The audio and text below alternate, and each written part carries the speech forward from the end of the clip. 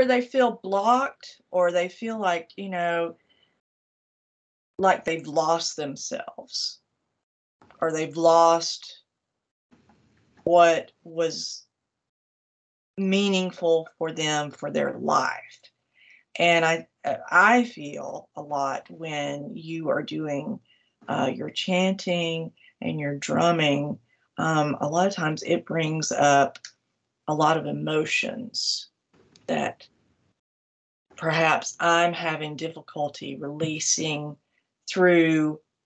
whatever things I do, you know, if it's yoga, if it's meditation, if it's exercise, if it's just daily life, you know, sometimes you just kind of build up this routine and you forget self care. With your drumming, to me, you bring this flow of emotion, this this peaceful feeling that it's okay to release these emotions. It's okay to go deep and it's okay to like let it go and be free.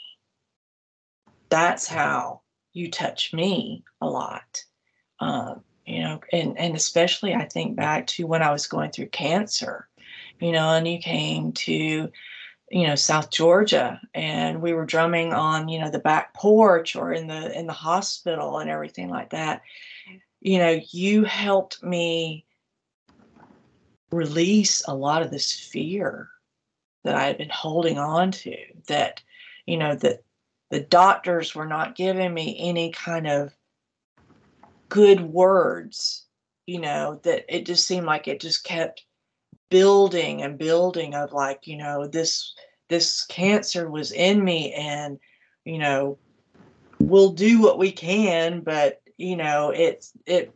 it's not curable you know it's we can treat it but we don't you know it was all this. And when you came it was just like i was able to you know through tears through breathing it was like i was able to like you know, release this huge or break into the fear a little bit, you know,